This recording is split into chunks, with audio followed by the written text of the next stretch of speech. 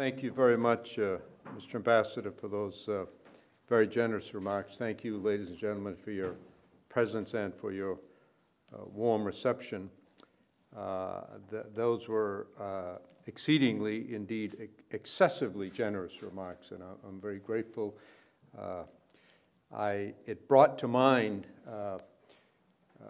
after I completed my service in Northern Ireland, I wrote a book about it, and uh, when the book was published, I took uh, what we in the United States regard as an obligatory book tour around the country to promote sales of the book. And uh, I then learned for the first time uh, that uh, uh, there are more Irish American clubs in the United States than there are Irish Americans.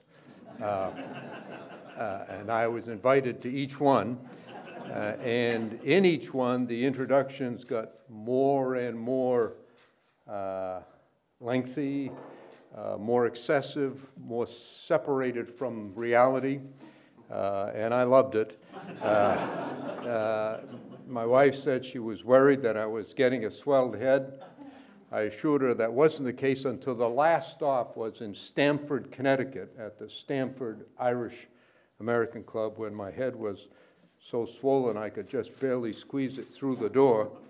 But when we went in, the very first person I encountered was an elderly woman who rushed up to me. Uh, uh, she's very excited. She said, I'm so pleased to meet you. She said, I don't live anywhere near here, but I drove two and a half hours just to come here to shake your hand and to ask you to sign my poster. Uh, and I said, Well, of course. Uh, she handed me a poster with a large photograph on it. And I looked at it and I said to her, Well, ma'am, I'm, I'm very happy to sign your poster, uh, but uh, of course you should be aware that I'm not Henry Kissinger, uh, whose photograph was on the poster. Uh, uh, she said, Well, you're not. She said, Well, who are you anyway? so I told her who I was, and uh, her, both her face and her words expressed her disappointment. Uh, she said, Oh my God, she said, this is terrible. Uh, she said, I'm so disappointed. I drove two and a half hours to meet Henry Kissinger, and all I've got is you. Uh, so that brought me back down to earth. Uh, uh, and, and it actually, while I'm at it, I'll tell another story. Reminded me of an earlier time where I got a little bit of humility when I was campaigning for reelection to the U.S. Senate. Uh, uh, Maine uh, is a rural state with very few large urban areas, but a lot of farmers. And so I was campaigning in an area of Maine for a couple of days at farms, and the I stopped at, at one farm, and you can, if you campaign enough in politics, you can tell almost from the moment of meeting whether you're going to get a good or a bad reception from the initial reaction. And the initial reaction was very good uh, of this farmer, and he invited me in and asked me if I would have a picture taken with two of his cows. now, one of the secrets of success in politics is the ability to make a fool of yourself gracefully. Uh, so, of course, I said, as though it happened every day, sure, I'll take my picture with your cows. And he explained to me that he had two very prized cows, uh, which he had just sold to the government of Saudi Arabia, which was in the process of upgrading its dairy herd uh, and had the, an emissary for Saudi Arabia had traveled the country and found the best dairy cows in America and bought them to send back. So I had my picture taken and I continued on my way. And the next morning in a local newspaper in this rural area, sure enough, right on the front page, nice big picture of me and two cows. so early that morning, I was out making my rounds again with farmers and uh, I went to, stopped at a farm, and it was a very long way off the highway, long gravel drive to get to it. And as soon as the farmer, now a very elderly gentleman, I, had a sense this wasn't going to go well. So, groping for small talk, I said to him, uh, Gee, I said, you've got a very long driveway to, uh, to get here off the highway. He said, Well, he said, uh, if it was any shorter, it wouldn't reach my house. I said, uh, so I stuck out my hand and I told him who I was. He said, Oh, I know who you are. I said, How do you know that? He said, I seen your picture in the paper with them two cows. I said, What'd you think about it? He said, Senator, I'm a Republican. I think we should keep the cows here and send you to Saudi Arabia. so, anyway, now that I'm back down to earth, uh, distancing myself from your introduction, uh, I, I, I, will say a few words uh, uh generally at the outset, a little bit about Europe. Uh, I'm here uh, primarily to speak at an OSCE conference tomorrow. Uh, and then uh, specifically about the Middle East and uh, in particular the Palestinian Israeli conflict. And then uh, I'll be very pleased to try to respond to your questions afterward. I begin by asking you to go back to the immediate aftermath of the Second World War, uh, uh, when, uh, in an effort to, to, secure the peace and to promote stability, uh, the United States and the democratic uh, peoples of Europe uh, established new international institutions and alliances. The United Nations was created, NATO was established, the European Union was founded, a host of new international institutions, from the World Bank to the IMF and others, were created. Germany and Japan were rebuilt and became resurgent. The intention was to embed the nations of Europe into political, economic, and military alliances that would make it less likely that Europe's long history of war and conflict would be repeated. Everyone had in mind, of course, that in the preceding three quarters of, of a century, from 1870 to 1945, three major land wars devastated Europe in the last and greatest of them, the Second World War, uh, in countries uh, whose populations were, for the most part, much smaller than they are today. In that conflict worldwide, uh, between 55 and 60 million people were killed. And large areas of continental Europe, uh, including many major cities, were laid to waste. In the three quarters of a century since then, uh, Europe has been largely at peace. There have been, of course, some local and regional conflicts, but measured against its prior history, the absence of major war, or now even of its possibility, particularly among the larger countries uh, in Europe, uh, is a heartening and a new development. And that's why uh, it's so important, not just to Europeans uh, or Americans, but important worldwide, that the EU's current financial crisis be resolved in a manner that does not undermine uh, that impressive political achievement. The American people understand that decisions regarding Europe's future will be made by Europeans for Europeans. In the process, however, you will receive our full support, uh, our encouragement, and whatever assistance we can provide. Uh, I believe that the North Atlantic Alliance and what flowed from it uh, is an extraordinary example of leadership and collaboration at an important turning point in history. We now face new challenges, but we still need extraordinary leadership.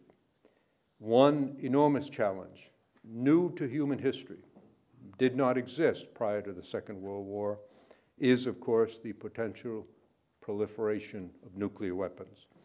The United States led the world into the nuclear age and has led the efforts to contain these highly destructive weapons with some degree of success. There are now in the world many countries with the capacity to develop nuclear weapons who have refrained from doing so uh, voluntarily. But North Korea has raised the number of countries with such weapons to nine, and Iran appears on a track to make it 10. Iran's program in particular, but also possibly in conjunction with North Korea's, could trigger a collapse in the non proliferation regime and result in a large increase in the number of nuclear powers in a relatively short period of time. So it remains of the highest importance on the international agenda that the effort to limit the spread of nuclear weapons be sustained and indeed intensified. If you go back over human history, it's in large part a tale of conflict. how it began, how it was brought to an end. The reason it's different now is that were there to be an all out nuclear exchange, it might be the end to conflict as opposed to an end to a conflict. And there's greater urgency now, even beyond the threat of nuclear warfare. The number of people on Earth is increasing rapidly. The number of nation states continues to grow and is now nearly 200. The number of non state organizations which rely on acts of terror to initiate or extend conflict is also increasing. And sad to say, inequality, injustice, the absence of freedom, poverty, famine, and disease all are the reality of life for vast numbers of people in the world. It took 18 centuries following the birth of Christ for the world's population to reach 1 billion. The most recent billion was added in 15 years. Think about that 1,800 years for the first billion, just under 15 years for the seventh billion. Although the rate of increase has recently slowed, most credible estimates are that by the middle of this century, uh, less than 40 years from now, uh, there will be between nine and one half and 10 billion people on Earth, and most of that growth will take place in poor and less developed countries, especially in Africa. And that means more competition for land, for water, for growth, for power, and inevitably more conflict. Much as we would hope otherwise, I think it unlikely or unrealistic to expect a world free of conflict. To the contrary, I think increasingly the challenge will be to prevent local and regional conflicts from extending further. And all of this is occurring at a time when technology has enhanced the human ability to kill ever larger numbers of other men and women. Let me turn now to the Middle East, the Arab Spring first, and then Israel and Palestine. The Arab Spring represents a turning point in the history of the region. While the countries involved are predominantly Muslim and most are Arab, each has a unique history, and it is a profound mistake to think of them as all the same. There will be uncertainty and instability. Uh, there'll be different outcomes for different countries, and there will, I think, at least judged by our standards, uh, be some good results and some bad results. History tells us, first, that revolutions are unpredictable and often require years, even decades, to play out. In my own country, the United States, in a much less complicated time, seven years elapsed after the end of fighting before the United States was established. And unfortunately, history also tells us that it is often the case that very bad governments that are removed by revolutions are replaced by even worse governments. The most obvious example, of course, being Russia, where people were oppressed by the czars for centuries, and then along came the Bolshevik Revolution and uh, the murderous dictatorial regime of Stalin. So we have to be patient and realistic in our expectations, even as we do all we can to support the transition to democracy where possible in the Middle East. And we must always bear in mind that these changes came from within and will succeed or fail from within. We also must continue our effort to help end the conflict between Israelis and Palestinians. Pessimism is now widespread, and justifiably so. There are many, many reasons to be skeptical about the prospect for success, the most recent of which is the Arab Spring itself. The upheavals across the Arab world, especially in Egypt and Syria, have created anxiety and uncertainty among both Israelis and Palestinians, making progress in resolving their conflict more difficult than ever. Even before the Arab Spring, the conflict had gone on for so long, had engendered so much hostility and mistrust, had had such devastating effects that many in the region and outside regard it as not capable of being resolved. But from our perspective, the pursuit of peace is so important that it demands our continuing and maximum effort. The key is easy to state, very difficult to achieve.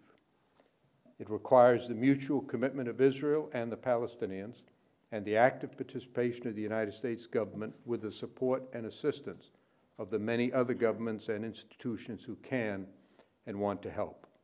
The task is to reconcile the Palestinian goal of a viable, contiguous, sovereign, and independent state based on the 1967 lines with agreed swaps and the Israeli goal of a Jewish state with secure, recognized, and defensible borders.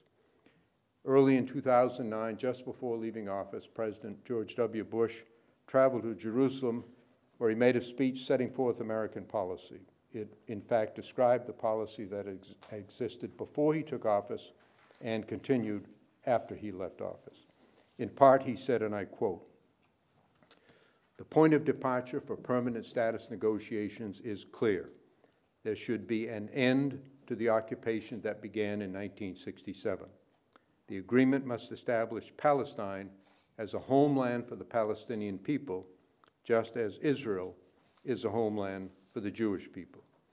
These negotiations must ensure that Israel has secure, recognized, and defensible borders, and they must ensure that the state of Palestine is viable, contiguous, sovereign, and independent. It is vital that each side understands that satisfying the other's fundamental objective is a key to a successful agreement. Security for Israel and viability for the Palestinian state are in the mutual interest of both parties. If I could reframe the President's words in a different way, Israel has a state, a very successful state, but they don't have a security. They want it and they deserve it. The Palestinians don't have a state, and they want that and they deserve that. Not just to have the right to self governance, but for the dignity that comes with being able to exercise that right. Neither can attain its objective by denying to the other side its objective. The Palestinians are not going to get a state until Israel has a reasonable and sustainable sense of security. And I don't believe Israel can achieve that unless and until the Palestinians get a state. When President Obama took office in 2009, he publicly reaffirmed that basic policy. But it seemed then that the culture of peace, which had been so carefully nurtured during the years of the Oslo process, had disappeared and had been replaced by a sense of futility and of the inevitability of conflict. Just four days before President Obama was sworn in, the conflict in Gaza had ended. The Palestinians were deeply divided, and Israel was in the middle of an election campaign, uh, and the result was highly uncertain. There were very few then who believed that there was any chance of restarting peace negotiations, let alone achieving an agreement. And unfortunately, three years later, that remains largely the case, despite an intense effort. A solution cannot be imposed externally. The parties themselves must negotiate with the active and sustained support uh, of the United States and other friendly countries. This will require of them compromise, flexibility, and most of all, extraordinary leadership. I still believe that the conflict can be ended, in part because while negotiating a peace agreement will be very painful for the political leadership in both countries, in both societies, because both are deeply divided, I believe that the pain that their societies will endure if they do not reach an agreement will be much, much greater. There is no course that is risk free. There is a risk to Israel from negotiating an agreement, the possible failure of the Palestinian state. But in my judgment, the risk is far greater if they don't reach an agreement. So it's going to be very difficult, but I think it can be done. There is a lull now, and it has created a false sense of security. But if history is any guide at all, that won't last. And if the conflict continues, Both societies face dangerous and uncertain futures. Let me mention just a few beyond the dramatic and devastating results of a renewal of conflict. In particular, at a time when, given the tension between Iran and the Arab Gulf states and other countries in the region, between Sunni and Shia, the upheaval in Syria, the upheaval in Egypt, the possibility of further upheaval in other countries, an outbreak of violence now could spread in ways that have not occurred in the past and cannot now be foreseen. There are many challenges on both sides. I'll mention just a couple in the interest of time. For the Israelis, the first is demography. There are now just a little more than five and three quarters million Jews living in the region between the Jordan River and the Mediterranean Sea. In the same space, there are a little more than five and one quarter million Arabs, if you include West Bank, Gaza, and Israeli Arabs. The two sides disagree on almost everything, but on demographics, there is no disagreement.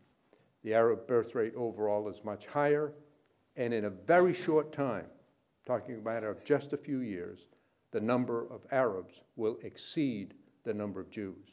The most recent population estimate from the region is that in the year 2000, there will be 500,000 more Arabs than Jews in that region.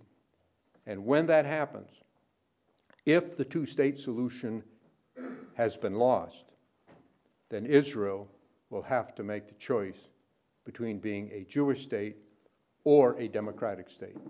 It cannot be both in the absence of a two state solution.